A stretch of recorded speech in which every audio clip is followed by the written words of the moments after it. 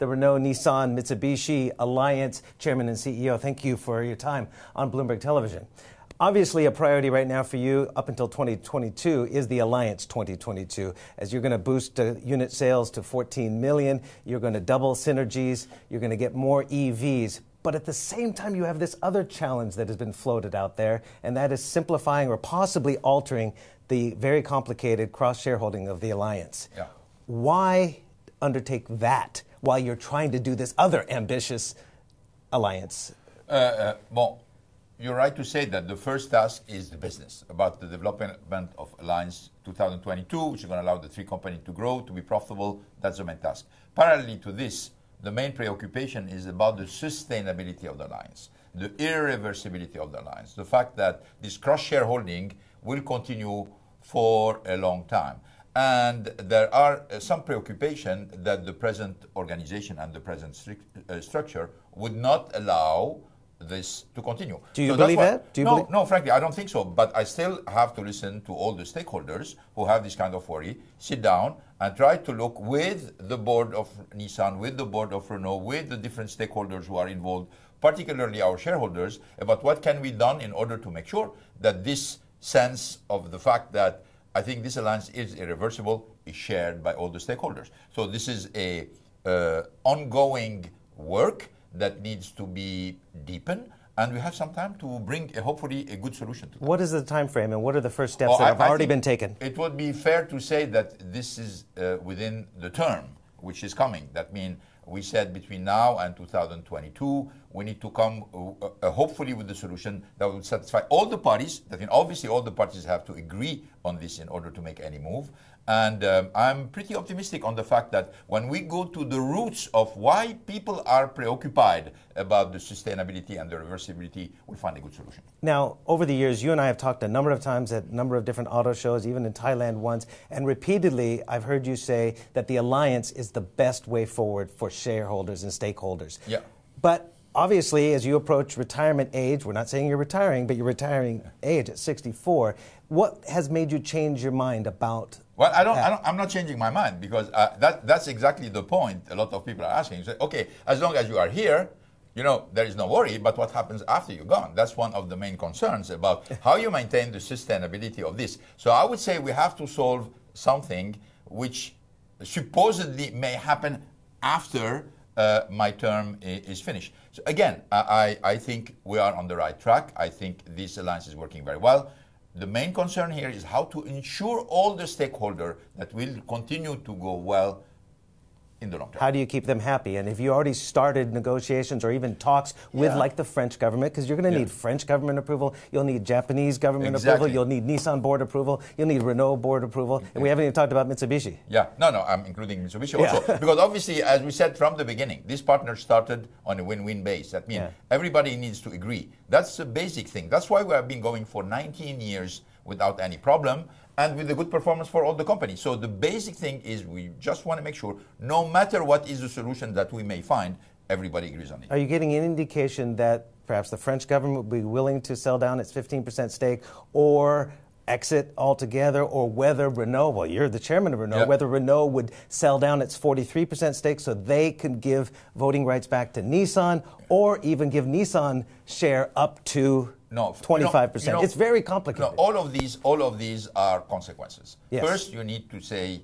to define what you want and what is the solution on which everybody agrees. Right. Then in function of the solution, then you will have consequences in terms of cross shareholding, organization, processes, succession, leadership, boards, etc. So I think it would be too early to say who's going to sell what and who's going to be buying what we may not even move on, on, on, on, this front. But I would say this is not an objective by itself. This is a consequence right. of a solution that we will find together. Now, of course, you built a career, whether it was at, of course, uh, uh, the tire company in North America and then into Renault and Nissan of cutting costs and mm. restructuring, right? Mm. So we, we know that at Renault, the average employee at Renault contributes half per head of the Nissan employee. That's not really sustainable, is it? Oh, I mean, Renault is uh, today a very profitable company, has been, uh, you know, one of the highest uh, rate of growth of all the car makers for the last three years. Uh, so it's a healthy company. It's going to continue to grow. One of the reasons for which maybe the average income per car is lower at Renault compared to some of uh, the two peers in the alliance is the fact that Renault is not present in the North American continent. And you know very well that it's in North America that the average income per car is the highest in the world. So if you're not present in North America and you are very present in markets where the average price of the car is lower, automatically it translates in your P&L. So I, I, don't think this is due to the ability or non-ability of the company to perform. I think this is just due to the geographical footprint, which, as you know, one day or the other will be solved. It's a very complex situation, but is there a bottom line that you could share with us, both for Renault and for Nissan? You know, the, the, the bottom line I'm telling you is that the line is going well. And I think everybody agrees on this. All the parties, Renault, Nissan, Mitsubishi, and the two main government involved, which is Japan and, uh, and France. Everybody knows this is going well. Nobody wants to mess up with the alliance. Everybody wants this alliance to continue. The only question is how do you make sure that all the stakeholders feel good about the long-term sustainability of the alliance, which is a fair concern. And the only thing I'm saying is there will be no solution unless it would be accepted by all the parties. So we all need to, at a certain point in time, discuss this. We have plenty of time in front of us and bring a good solution. Is Mitsubishi on the table? Would a merger? Oh, Mitsubishi obviously is part of the alliance and obviously would be interested in anything that would modify uh, any organizational structure of that. Would that be a lower hanging fruit, though, that that would be merged before a Renault and I Nissan? don't think so. I think, you know what, I don't think anything is going to move unless okay. we find a solution. We're not going to go step by step, uh, modifying here and there. This is not going to happen. The cross shareholding that you mentioned will have not been touched for the last 19 years. I always said that we will not touch it unless there is a main strategic goal. Unless the strategic goal is here, I don't think you're going to modify anything. In five years from now or four years, at 2022, will Nissan and Renault be merged? Will it be, uh, look different? Will look different? Nobody can answer this okay. question. The next question. How about China? We know by yeah. the next five years they're yeah. going to start eliminating the joint venture yes. requirements. Yeah. Uh, you've long said that you like your partnership with Dongfeng.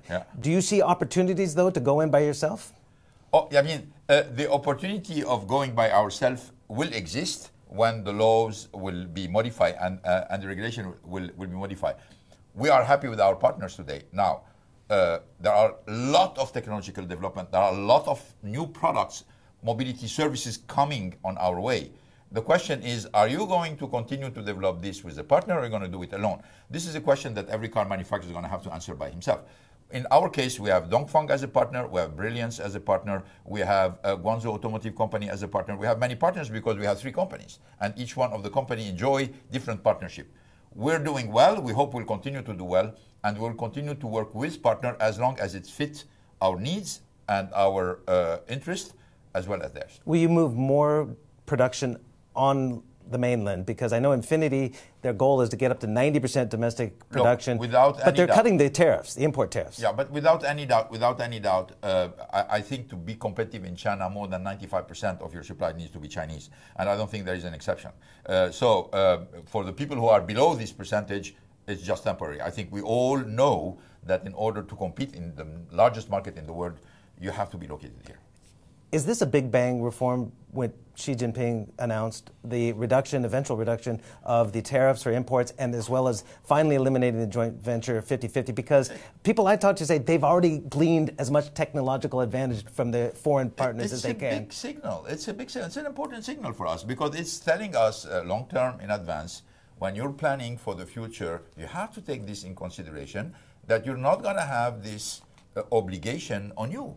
Now, if you want to continue with your partner, it's fine, but you're not going to oblige by law uh, to do that. It's a very important element. Obviously, I don't think it's going to change anything on the short term, but it will help us when we are planning 10 years down the road, uh, because, you know, in China, you cannot just manage the business on a yearly basis. You're going to have to look at 10 years down the road where you're going to be, where you're going to be bringing. You have this option.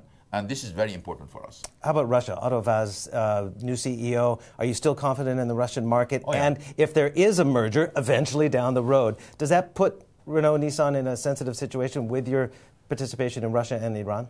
Absolutely not. I, I think, the, first on Russia, I'm optimistic on the Russian market. The Russian market is one with the highest rate of recovery so far uh, this year. Uh, we invested a lot in Russia. We suffered when the Russian market was down.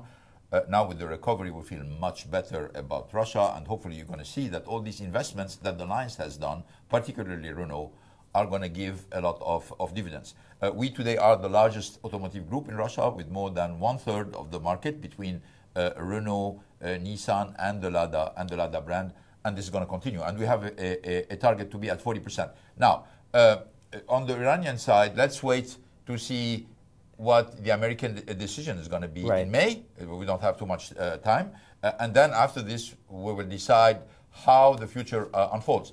If the US decides to remain in the agreement, well, it's business as usual. That means the development will Yep. continue. Well, if, if they uh, uh, withhold from continuing into this agreement, we just need to make sure about what the rest of the international community is going to be doing. So uh, the decision, the U.S. decision will be important, will be watched carefully by all people who have interest in, in, in Iran, and then we will tell you if there is any change in our policy. very quickly, a couple of words to Donald Trump on a potential trade war or currency war would be. I, I- I don't, I, don't, I don't think there is a trade war. I Okay. think it's a negotiation which is taking place. We'll see. Carlos Ghosn, always great to see you. Thank you so much Thank for your time.